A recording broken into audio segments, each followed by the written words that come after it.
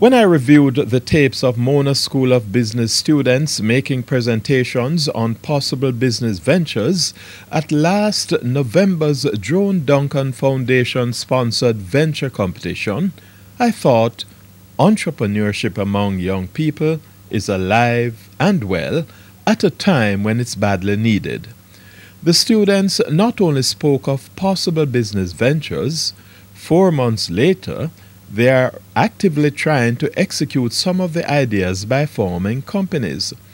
Tova Malka Trench Anderson, whose student group created an outfit called ProSan Environmental, gave an impressive account of how the group would possibly solve the customer service oriented ills of solid waste in Jamaica's large towns and cities.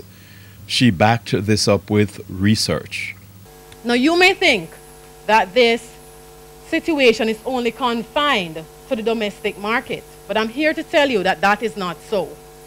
As market research conducted in Western Jamaica has pointed out that the commercial segment is really dissatisfied with the current product offerings. Let's look at the hospitality and tourism sector. A typical hotel guest generates on average one kilogram of waste per day in 2012, we have well over 1 million visitors to the resort towns of Negril and Montego Bay.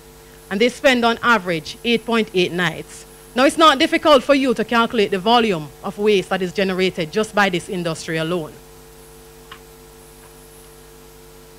Market research also indicated four major concerns that the clients have. Timeliness of collection, it's so bad to the point where they have to employ two waste collectors, hoping one will turn up each week. Cleanliness of trucks, garbage collection workers. You've seen them. Smelly trucks, dirty trucks, leaky trucks. Customer service. The contract is signed, that's it. You never see your company again.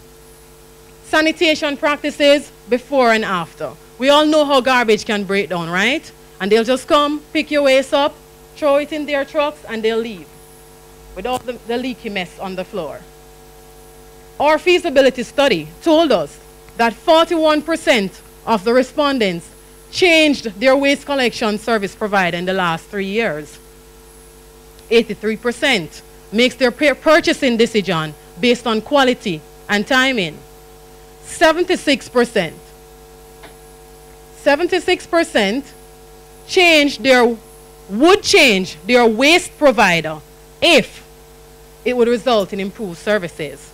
And it's because of this situation and the lack of proper waste management services in Western Jamaica why ProSan Environmental Solutions was conceptualized. We seek to become a limited liability company registered under the Companies Act of Jamaica, providing quality waste management and environmental services. So, what's ProSan Environmental's value proposition?